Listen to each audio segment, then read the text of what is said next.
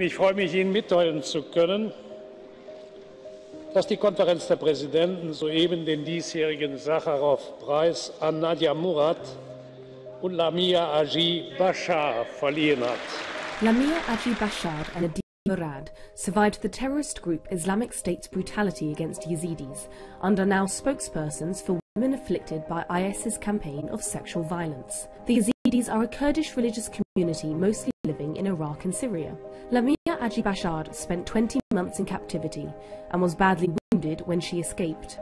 مرة قالك يعني تشتكي قنجة ناش مبتني رش إزديها مرة تشتكي قالك يا قنجة With her testimony to the UN, Nadia Murad contributed to the recognition that IS is committing genocide against Yazidis.